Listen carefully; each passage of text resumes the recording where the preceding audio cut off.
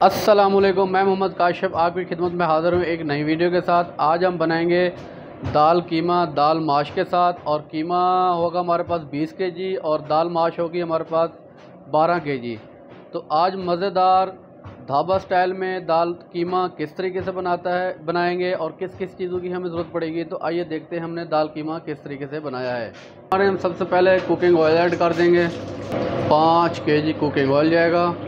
چلو آن کر دیا ہے۔ کوکنگ آئل کو اچھے طریقے سے گرم ہونے دیں گے۔ ساتھ ہم نے ایک گھنٹہ پہلے بارہ کے جی جو دال ماش ہے، اس کو بھگو دیا ہے۔ اب پیاز ایڈ کر دیں گے جی۔ پانچ کے جی ہم نے پیاز جولین کٹنگ کر کے یہ ہم نے شامل کر دیے۔ ہیں اب پیاز کو ہم اچھے طریقے سے براؤن کریں گے۔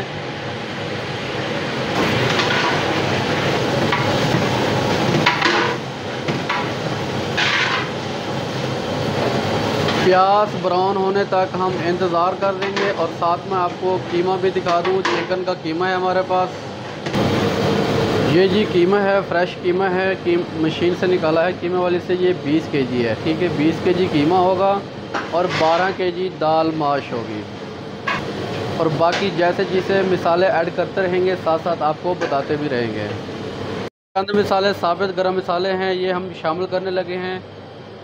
بیس گرام کالی مرچ ہے، دس گرام بڑی لاچی، دس گرام چھوٹی لاچی، پانچ گرام لونگ اور تین سے چار گرام تیز پتہ۔ یہ بھی ہم پیاز براؤن ہونے کے ساتھ ہی ایڈ کر دیں گے۔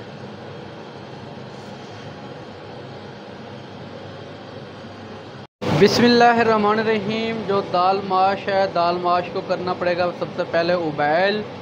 تو اس کا ہم نے پانی رکھ دیا چولہے پہ اور پانی جو ہے نا ابیل ہو رہا ہے اور ساتھ ہی ہم نے دال ماش نکالی ہوئی چھانے میں اس کو اچھے طریقے سے واش کرنے کے لیے۔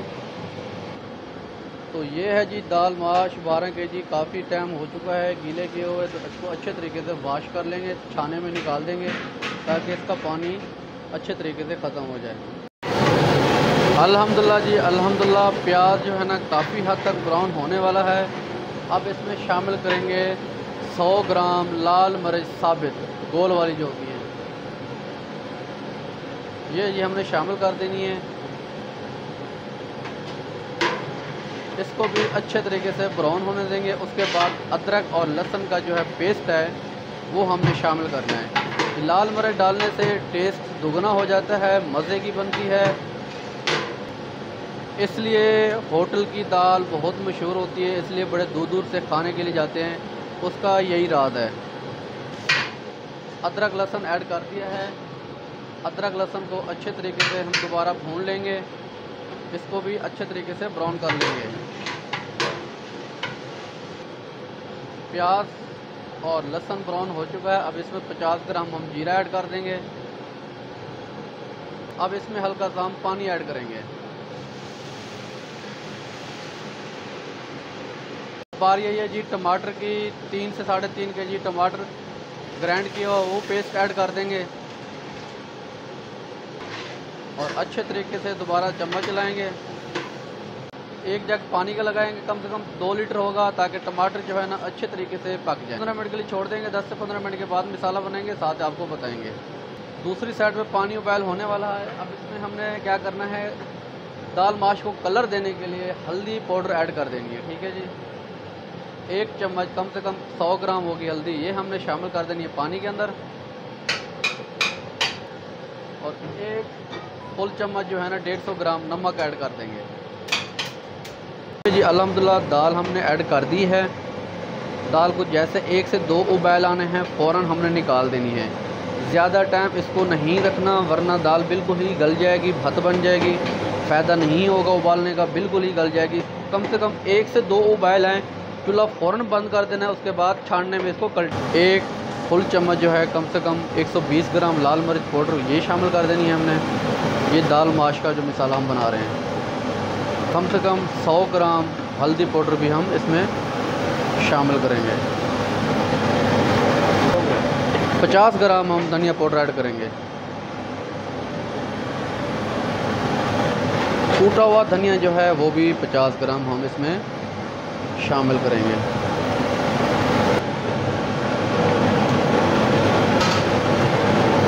ہلکا سا چائنا نمک ایڈ کریں گے اس میں۔ جی دال ابیل ہو چکی ہے، اب اس کو چھانے میں نکال دیں گے۔ الحمدللہ جی دال کا مسالہ جو ہے بالکل ریڈی ہو چکا ہے۔ جو ہم نے مسالے پاؤڈر نکالے ہیں، وہ ہم نے شامل کر دینے ہیں۔ شامل کرنے کے بعد اس کو پانچ سے چھ منٹ کے لیے مسالے کو اچھے طریقے سے بھونا کریں گے۔ یہ دیکھیں جی ماشاء اللہ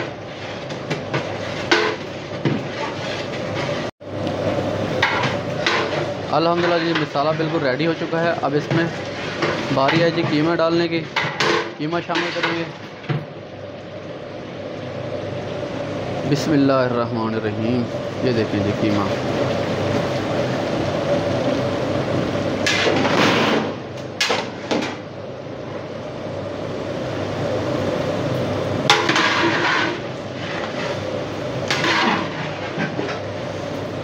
قیمے کو اچھے طریقے سے مکس کر کے کم سے کم بیس سے پچیس منٹ کے لیے پکایا جائے گا۔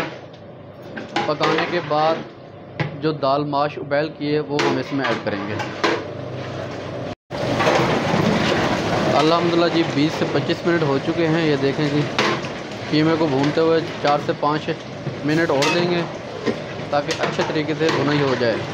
پچاس گرام ہری مرچ پیسٹ جو ہے نا، کر کے وہ ہم نے ایڈ کر دیا ہے۔ الحمدللہ جی یہ دیکھیں جی دال ہے جو ہم نے ابیل کی ہے۔ دال ماش۔ اب اس میں ہم دال شامل کر دیں گے، قیمے کی بنائی ہو چکی ہے۔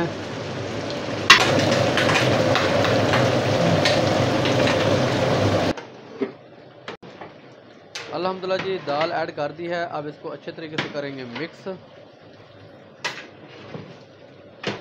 اچھے طریقے سے مکس کر لینا ہے۔ یہ دیکھیں جی ماشاءاللہ کتنی مزیدار تھی دال قیمہ ہمارا ریڈی ہونے والا ہے، ماشاءاللہ یہ دیکھیں۔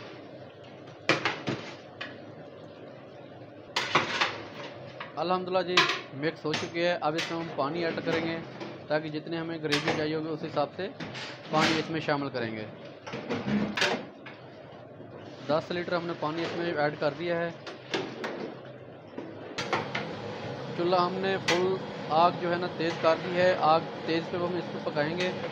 تاکہ دال زیادہ اگر ابیل آنے سے دال زیادہ گل نہ جائے۔ کیونکہ دانے دار دال ماش ہو تو بہت اچھی اور مزیدار دال کھائی جاتی ہے، بہت پسند کی جاتی ہے۔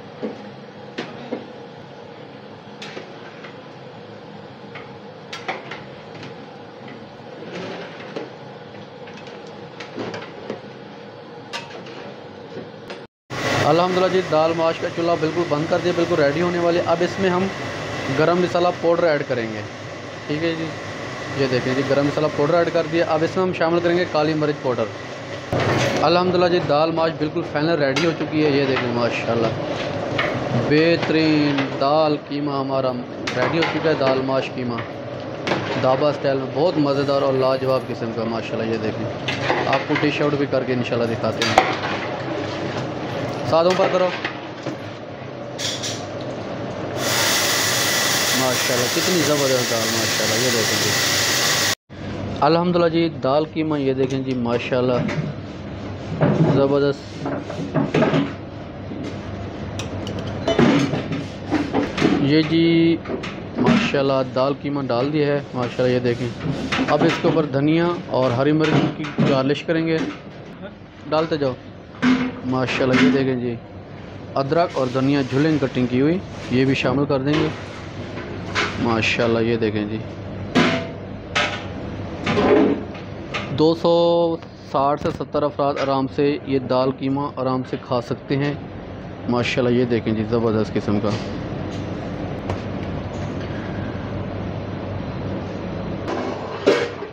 بسم اللہ الرحمن الرحیم، آپ کو ڈش آؤٹ بھی کر کے دکھائیں گے۔